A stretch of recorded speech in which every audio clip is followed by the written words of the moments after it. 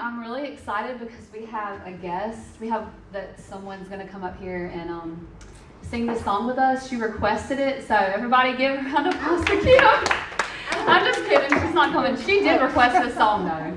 She's going to sing loud in the back. So, how's everybody doing this morning? Good. Good. If you would, would you stand? I'm going to start us off in prayer. Lord, I just thank you so much for today. I thank you for each and every person that's here, that you brought them here. I thank you that they're here with our church family. If you're here, you're a part of our church family. And um, I ask God that you would just be with us, lead me today through worship, lead uh, Jason, lead Connor, and help me with the word as I deliver the word here in a little bit, God. I just thank you so much for your son. I thank you for who you are. And I thank you for revealing yourself to each and every one of us and just showing you who you are. In Jesus' name, amen. These